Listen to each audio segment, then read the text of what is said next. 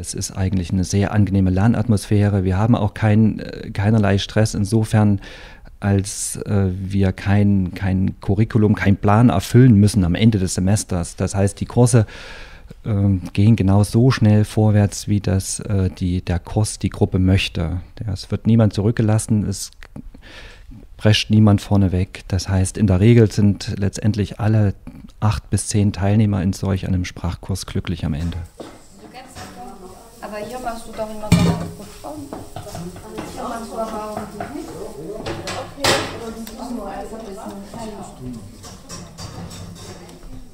Aujourd'hui, nous faisons beaucoup de choses différentes. Heute machen wir viele verschiedene Sachen.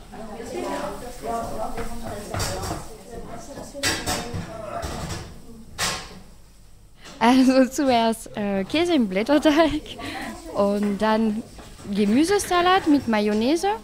Ähm, dann die französische Lasagne, das heißt Haché Parmentier. Statt Nudeln benutzen wir Kartoffelpüree. Dazu kommt natürlich ein Salat und als äh, Vor nee, Nachspeise ähm, wir Il Flottant, das ist Vanillesoße mit Eischnee. So. Und Mandeln.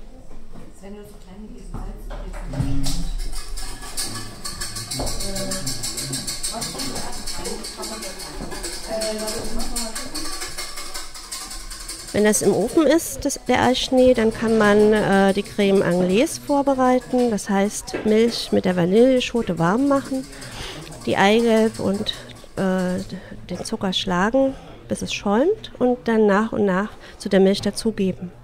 Und das dann auch in einem Wasserbad eindicken lassen. Und dann wird die ähm, Il als kleine Insel in eine Schale gelegt und mit Mandeln bestreut und die Creme dazu gefügt.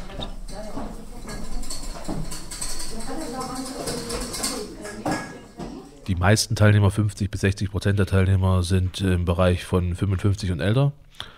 Ähm, wobei wir in letzter Zeit durch den wachsenden Bereich Politik, Gesellschaft äh, auch Gruppen zwischen 25 und 40 erreichen, verstärkt. Äh, der einzige Bereich, der da ein bisschen ausgenommen ist, ist der Sprachbereich, wo wirklich äh, alle Altersgruppen teilnehmen.